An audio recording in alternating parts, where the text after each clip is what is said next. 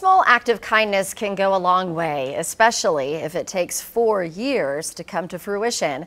2 News Oklahoma Shea Smith introduces us to a Sand Springs boy who spent years growing out his hair just so he could give it away. Shea? That's right, Aaron. Today I met Axel Selvy at Scissors Family Cuts in Sand Springs. Now he was there to get a haircut, but the hair that was chopped off is going to make a big difference in someone else's life. Axel Selvy just turned 12 in June. He likes to play badminton, soccer, and play in the dirt.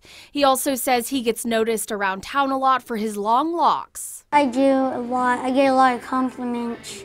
I get a little shy sometimes. He says he's been growing his hair out for the past four years, but Axel and his family stopped by Scissors Family Haircutters on Wednesday to chop it all off, something he says he's been looking forward to. Like, yes.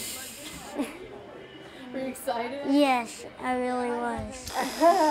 It's exciting and a little emotional for his mom. It's been four years with long hair, and you know, I was nervous for him, and I was holding back the tears. But the cut was for a good cause. He's donating his hair to the organization Wigs for Kids.